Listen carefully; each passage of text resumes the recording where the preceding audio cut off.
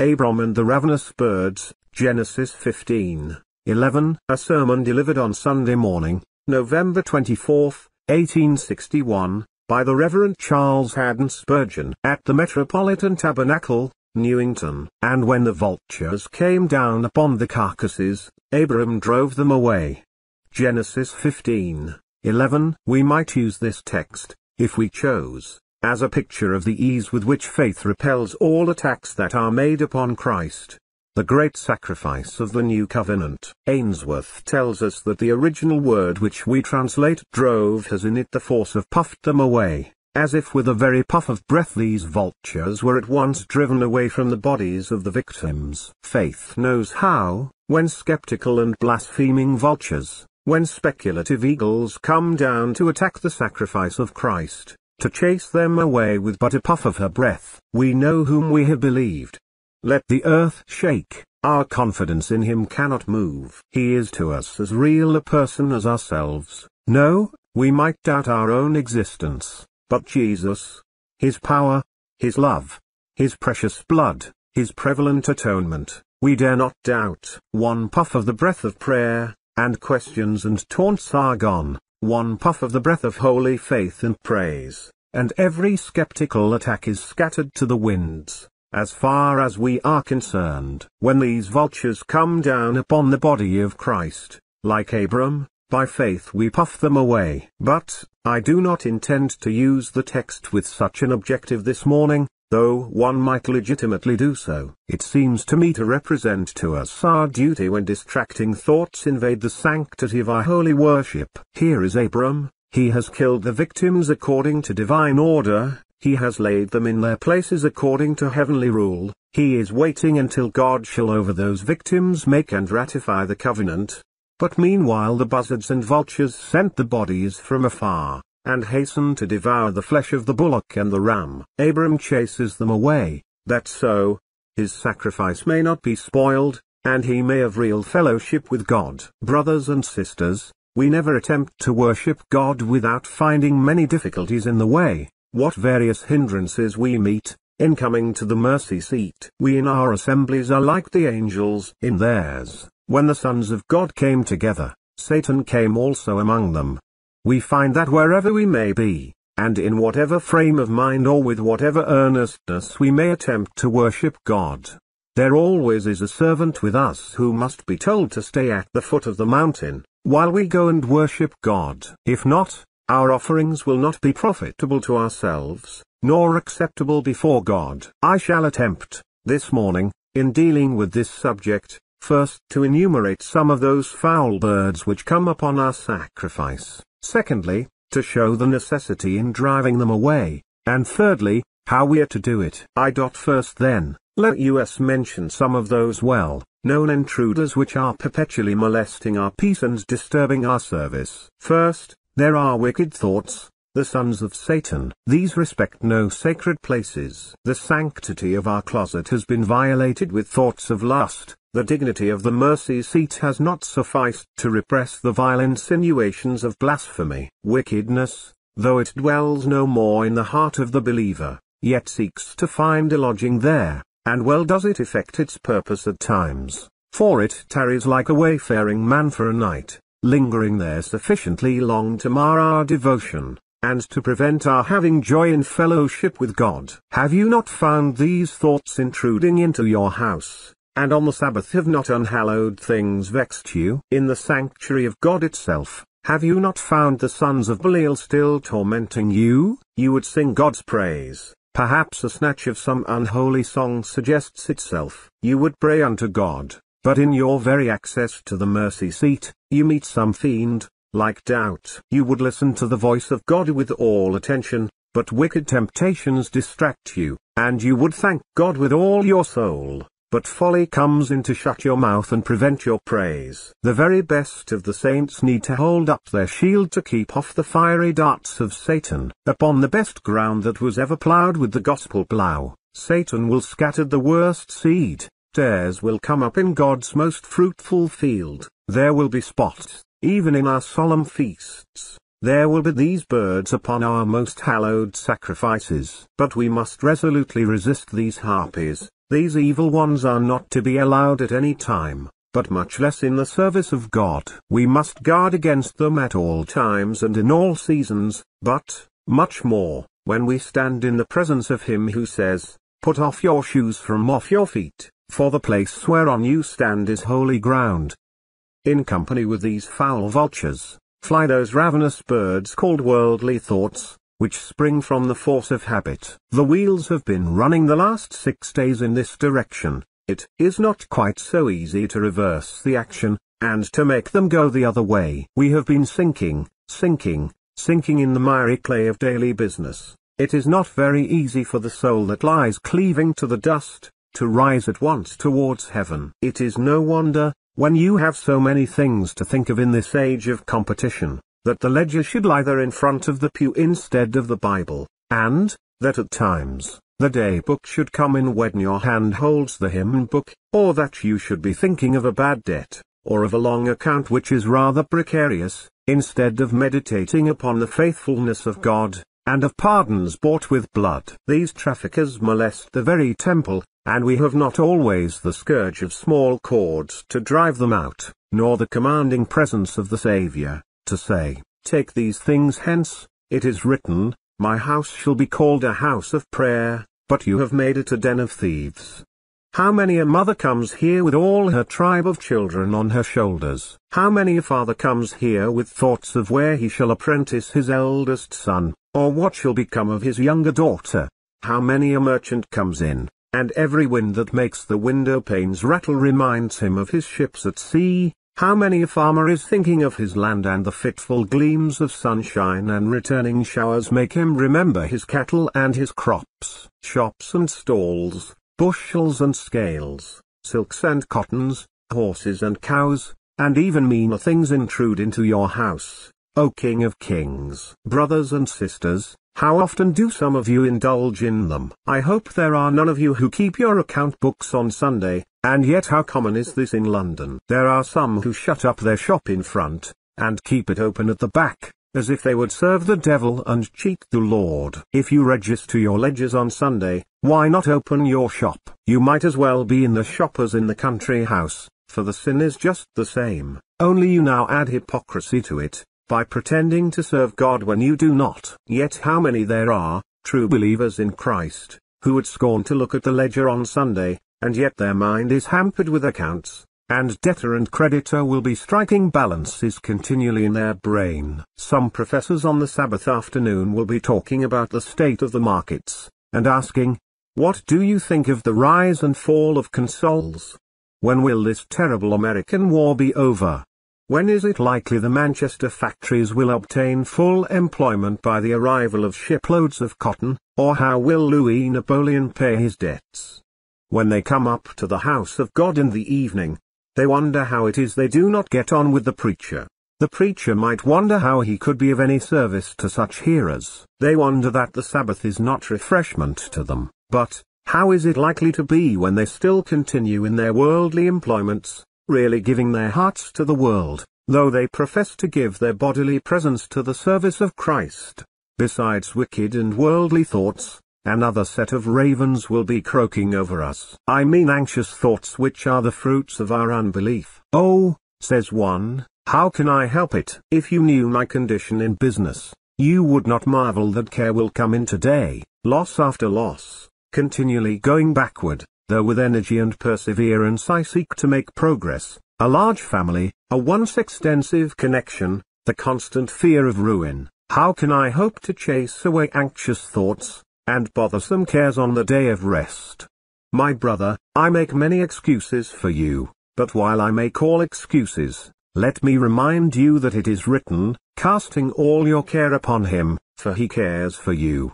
At least today there is no need that you should carry that burden. Why, it will be none the worse for this one day's letting alone, and it certainly will be none there. Better for this blessed day being wasted in fretting and worrying yourself. What if the burden is heavy? Is it not enough to carry it six days? Why do you need to carry it on the seventh? What if the toil is severe? And we will allow that it is. Is not that the more reason why you should shorten the hours of your labor, and not give the whole seven days to it? But on this day, pour out your heart before God, empty out your troubles at his feet, and leave in his hands your difficulties and your trials, believing that he knows them all, and knows how to make them all work for your good. These bothersome cares must be chased away, just as much as wicked thoughts, for after all these things do the Gentiles seek.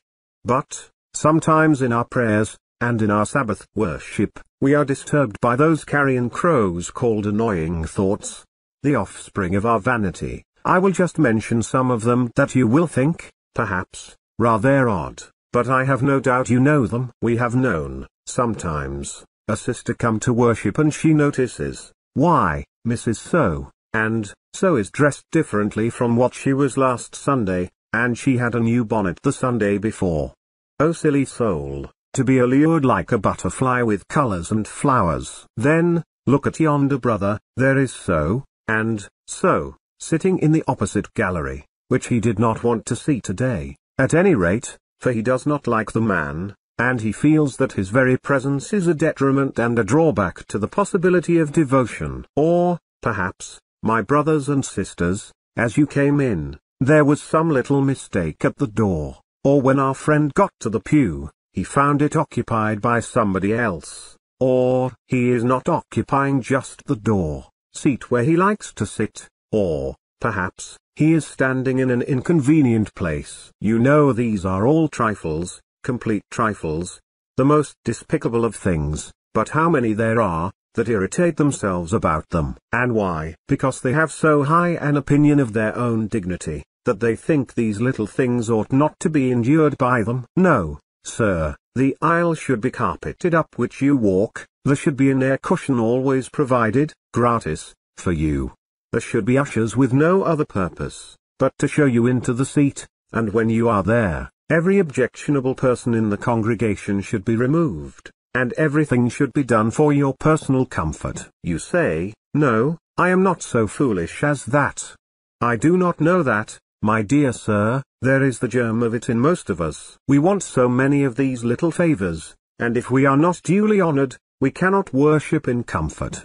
The thought of seeing God, and enjoying the light of his countenance, has not sufficient power over the carnal hearts of some to make them forget all the little inconveniences that must occur in vast assemblies, and in a great house like this in which we are gathered. There are some fret, tempered souls that cannot worship, because some trifle not worth a moment's notice has disturbed their minds. Now, these feelings must be striven against, this vanity is not to be allowed in any one of us. We must denounce it, and chase it out, for it only makes us little in the esteem of others. And if we could but see ourselves, it would make us contemptible in our own sight. Oh, bless his name, when a soul is hungry, it little matters how it gets its food, when a heart is really set on finding Christ, the man will care but little what may be his comfort or his discomfort. Only, let the truth of Jesus come into the soul, let him feed on its marrow and its fatness,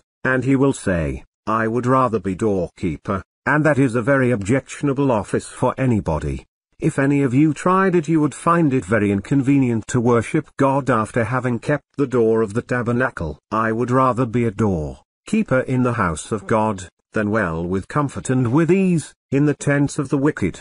But, I will mention a brood of eagles which will haunt Mount Zion, I mean ecclesiastical anxieties. And what do I mean by these? Why, that sometimes when our minds should be perfectly free for worshipping God, church business, perhaps church differences, thrust themselves upon us. The deacon thinks he may worry himself a little about something that has occurred with the poor, the elder thinks it would be justifiable to be thinking over the case of such, and, such a refractory individual whose case has troubled him, the member thinks he may be fretting about the dullness of the minister, the minister thinks he may be groaning because some in the galleries have not joined the church, and mark, all these are good things in their places, but they have no business at all with us when we come up to God's house to worship Him. Then, these birds, even though they are like the sparrows that build under the eaves of the altar, must be driven away, for,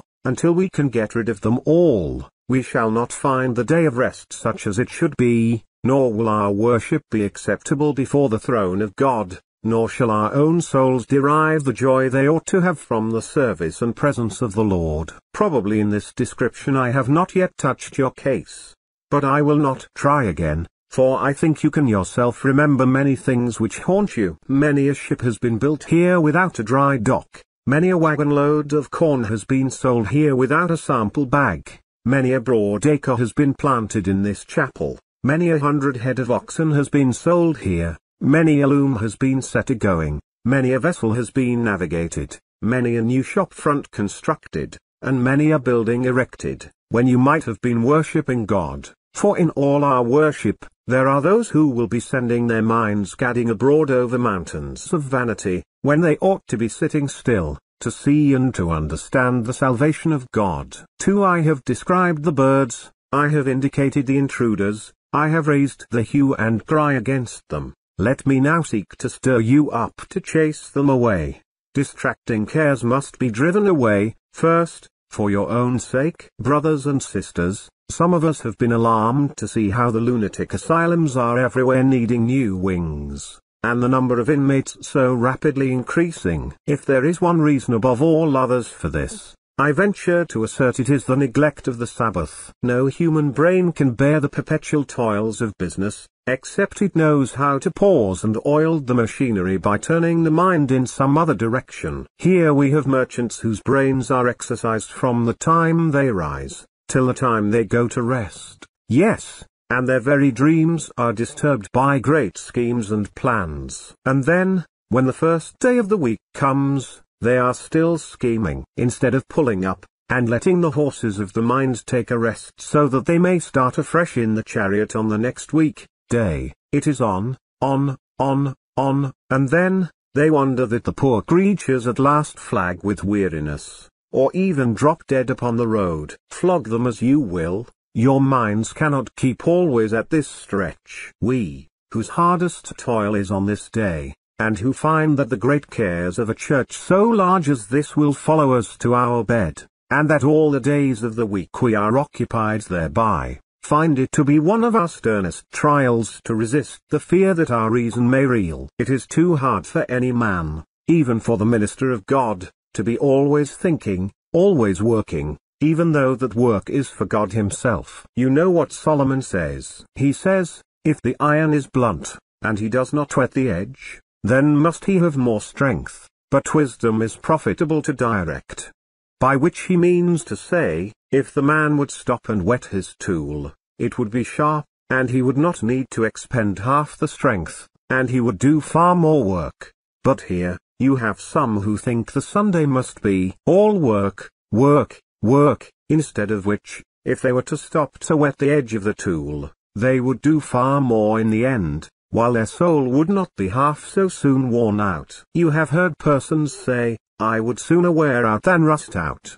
There is no occasion for either, if we would but keep this day of rest as a perfect rest to our heart and soul, but that we can never do unless we love Christ for a Sabbath is impossible to an unconverted man. If we would but, as Christians resting in Christ, keep this first day of rest, giving our souls thorough ease, there would be no fear of the brain giving way, we would labor on, even to a good old age, and then die in peace, and our works would follow us. I cannot expect you to believe me if I should say, you can carry on your business all the days of the week without care, without diligence, without very earnest thought. We must be diligent in business, and you must put both your hands to the wheel if you would make it go. But do leave the wheel alone today. Now, have done with it. You will madden yourself, or, if it comes not to so sad a climax as that, you will destroy your comfort, destroy the acuteness of your mental powers,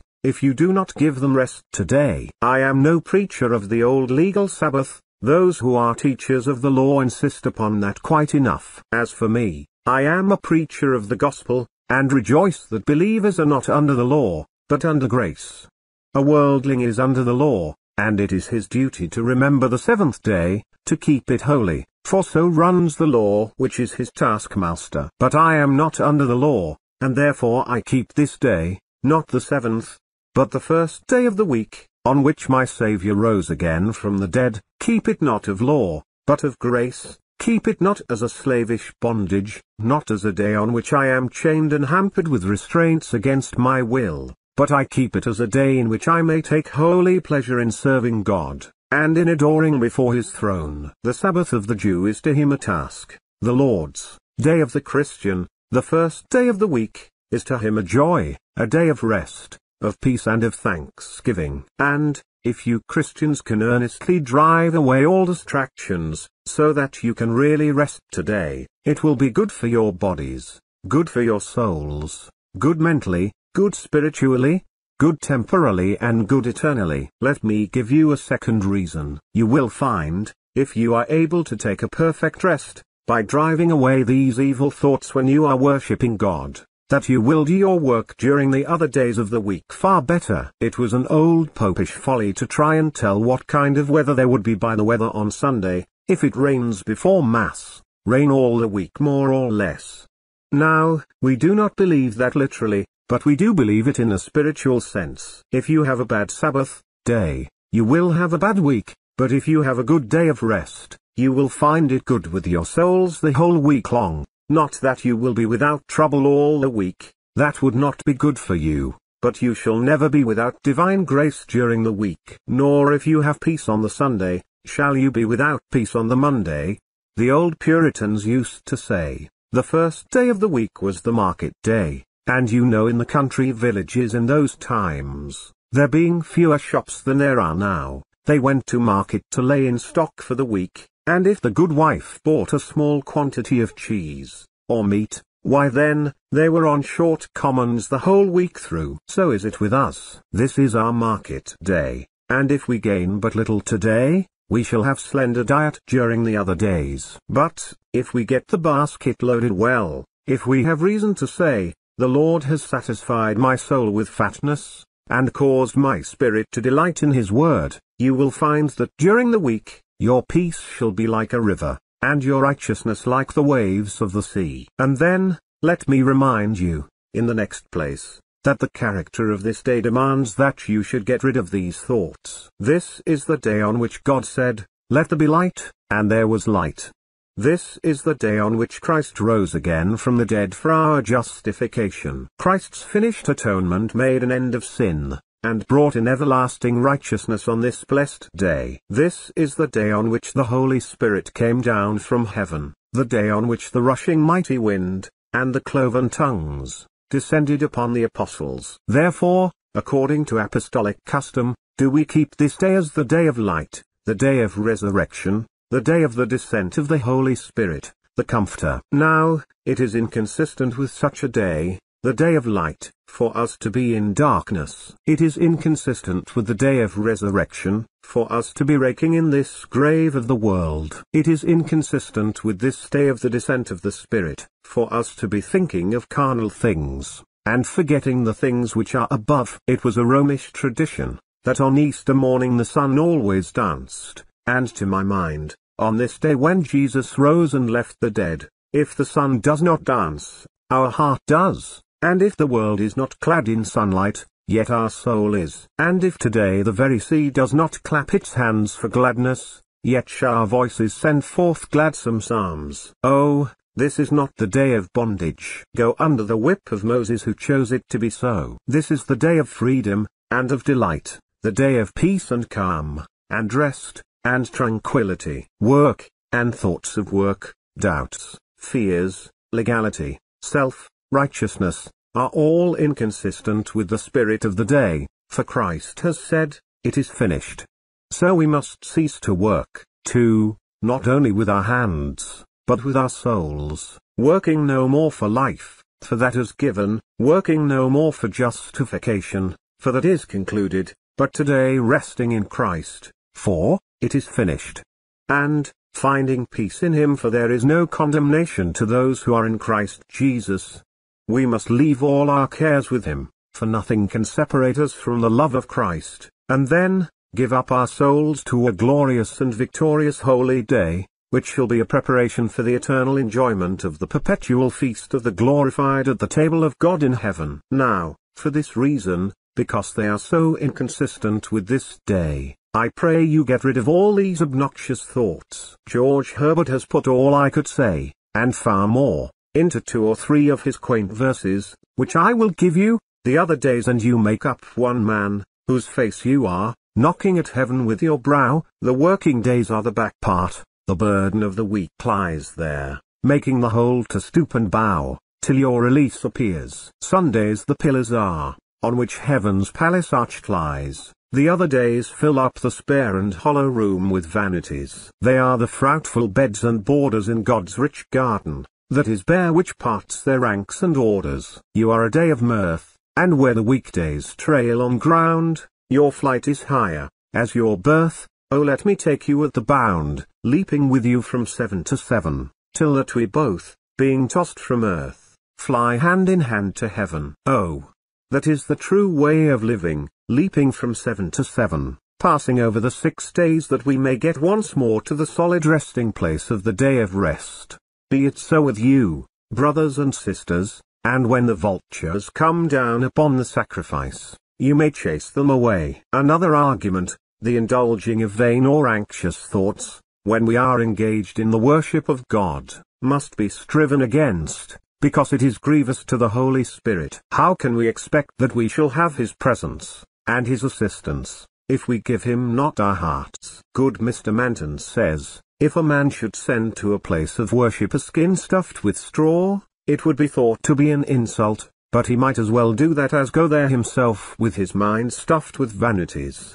Was it not a crime of old, this people draws near to me with their lips, but their heart is far from me? Can you conceive it enough to make long prayers, if your minds are occupied all the while about the widow's house, or courting the approbation of man, it is vain for us to bring these oblations unto God, for his requirement is, My son, give me your heart. How can the Lord, the high and lofty God, ever accept the sacrifice? Where the heart is not found, it was considered to be one of the worst omens in the Roman sacrifices, if the soothsayers discovered that the victim had no heart. So, it must always be an ill omen to us, if in our worship, our heart is not set on God, and intently engaged in His service. O Spirit of God, how many of us have lost our comfort, and the joy and peace of our faith, because we have not, when we have been upon our knees or engaged in sacred songs, or in listening to the Word, compelled our thoughts to stay at home and bow down to the Most High. What do you think? If you were in the presence of a king, would he consider it to be comely or decent if you should forget why you came, if while you offered your petition, your mind should be engaged on other matters, or if you should turn your back on him to gaze out the windows while his majesty spoke to you? And what are you doing, when your soul is looking to worldliness, while God's own face is speaking to you, and his word is being read in your ears? Oh, this is to insult the Most High. Angels veil their faces, and shall rise begadding abroad. Angels bow themselves before him, and continually cry, Holy, Holy, Holy and shall we insult the divine majesty by coming here with unholy thoughts, on with unhallowed anxieties, not veiling our faces, but permitting them to receive all that the light of day can reveal to us of vanity, of deceit, and of care. O God, give us divine grace to know what you are, then shall we understand how you are to be worshipped in spirit and in truth. I shall add once more, these thoughts and cares must be driven away, for if you do not strive against them, they will increase and multiply. This is a growing habit. I have not to complain in this congregation of any lack of attention during the service, but I have had the pain of seeing assemblies where the wandering eye has been indulged, till at last it would be as pleasant, and perhaps as profitable, to address a load of bricks as to address the people who were assembled. They come in listlessly, some of them are half, an hour after the service begins, and in some, where the habit has grown worse and worse, the minister generally knows when to leave off, because he sees the friends are coming in to see the others go out. They come gradually later and later, and become more and more careless about what is uttered, till an angel from heaven would scarcely make them keep open their heavy eyes, and a prophet sent from God could not stir their impassive souls. The force of habit is like the velocity of a falling stone, it increases in ever multiplying proportions. If I have indulged one unbelieving thought, there has always been another to follow it. If I have allowed some little disturbance in the congregation to cast me down, and distract my thoughts, there has been another and another and another, till I have been in the pitiable condition of a minister who has been half afraid of his congregation. And it will be so, with you. We must strive against it. We must get rid of these bothersome thoughts. We must chase these birds from the sacrifice. Away with you, away with you. We cannot have you here. We must, we will worship God, and if one effort will not give us quiet, we must try again, for it must be done or else we shall destroy our peace, and render the Sabbath as hard a day, as any of the other days of the week, while the service of God will be to us a vanity, and to him a vain oblation. 3. I am now, then, in the last place, to try and briefly show you how to do it. And we begin by saying, first of all, set your heart upon it, for when the soul is set upon a thing, then it is likely to accomplish it. Go up to God's house, saying, I must give my soul to eternal matters today, and I will. My soul cries after God, as a thirsty stag in the wilderness brays after the water, brooks. O God, my heart is fixed today, I must have done with earth, I must begin with heaven, I must say to all cares, sit still, and I must say to my soul, wake up my glory, wake, psaltery and harp, I myself will awake right early to praise God. And when the soul is thus set upon the matter, there will be half the battle already fought, and the victory almost won. But when you have done this, remember next, let the preparation of your heart before coming to the sacrifice assist you when you shall be there. We are told men ought not to preach without preparation. Granted. But, we add, men ought not to hear without preparation. Which, do you think, needs the most preparation, the sower or the ground. I would have the sower come with clean hands, but I would have the ground well plowed and harrowed, well turned over and the clods broken, before the seed is cast in. It seems to me, that there is more preparation needed by the ground, than by the sower, more by the hearer, than by the preacher. But this is forgotten. Men come to market having made up their minds what they want to sell, and what they will buy, and they give their attention to how markets go and they act accordingly. But, when men come into these places of worship, they do not know what they want, they do not know why they come. Perhaps it is to see the place, or hear the preacher, and they go away, and they have no spiritual profit. How could they? What profit would a man make,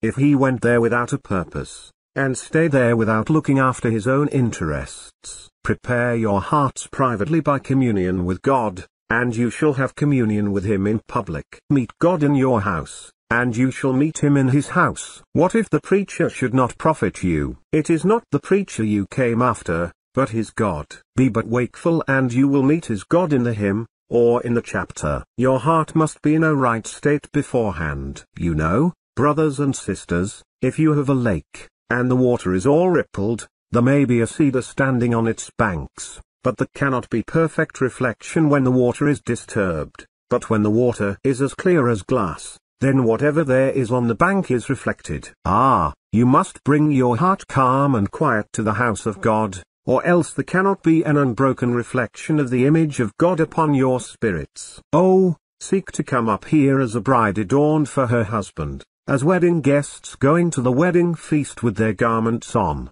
expecting that they shall be made glad. Come here as hungry ones, pleading for food, and thirsty souls all longing for the water of life. But, this done, above all, cry to the Spirit of God for help to make your spirit rest. You have trouble. He is the Comforter. You have infirmities, but the Spirit itself also helps our infirmities.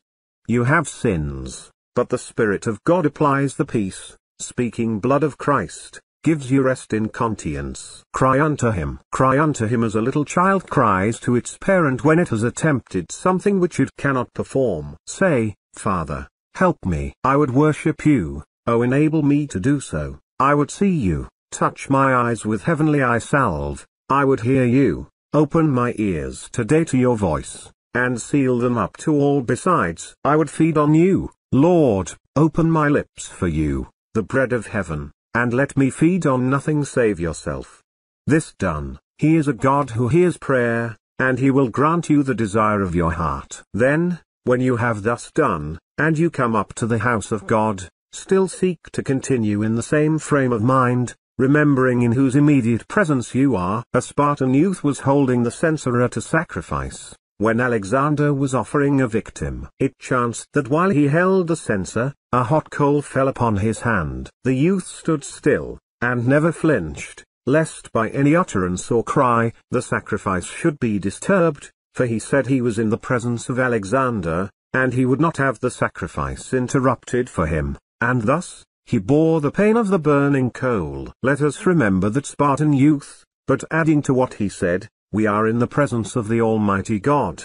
Then, if there is something which annoys us, let us bear it unflinchingly, for we stand before him for whom it is blessed to suffer, and who will surely reward those who seek him in spirit and in truth. It is written in Josephus that certain of the Jewish priests, at the time of the taking of the temple, were standing at the altar. They were waving to and fro the slowed censers, and offering their prayers, and their victims. The Romans rushed in, sword in hand. There were shrieks and cries, murders and deaths, the pavement was stained with blood, but the priests took no notice whatever, nor would they turn from their sacrifice till they were themselves slain. Oh, for something of their devotedness to God, that even death itself might not interrupt our songs.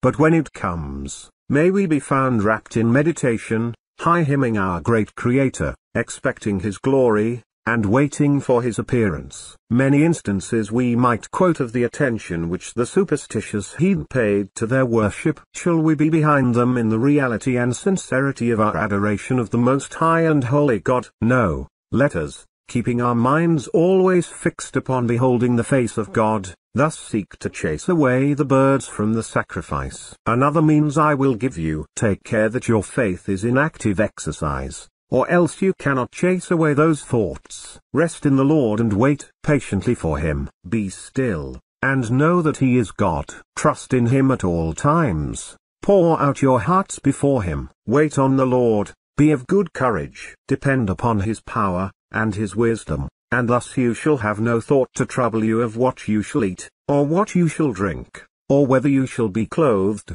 but, like the birds of the air that keep eternal song, the lilies of the valley which keep perpetual Sabbath, so shall you sing and rest, and Christ shall be glorified in you. Take care also, that you attend a ministry which draws you from earth.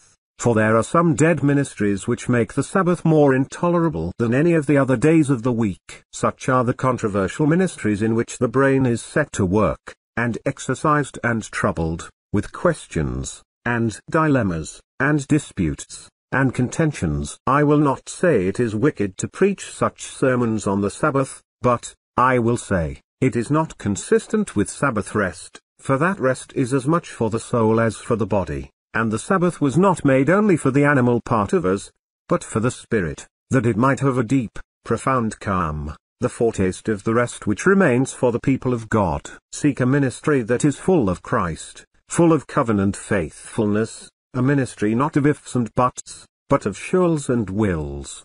Seek a ministry which vindicates the Spirit's power, which, while it teaches fully the sinner's abject helplessness, dwells much upon the absolute omnipotence of God to save. Seek one which preaches a full Christ for empty sinners, whose theme is death and resurrection, whose objective it is to make Christ precious to your heart, and so to compel you to trust in him. Thus you shall find it more easy to rest on the Sabbath, than if you should attend under the legal preacher, whose theme is moral duties, or under the mere doctrinal preacher, whose objective is contention and fighting, or under the mere experimental preacher, whose aim shall be to stir up the filthy mud of your heart, instead of pouring into you the pure clean water of the truth as it is in Jesus. Oh, my brothers and sisters, I know how many there are of you who look forward all the week long to this day. And there are times when some of us, when we awake in the morning,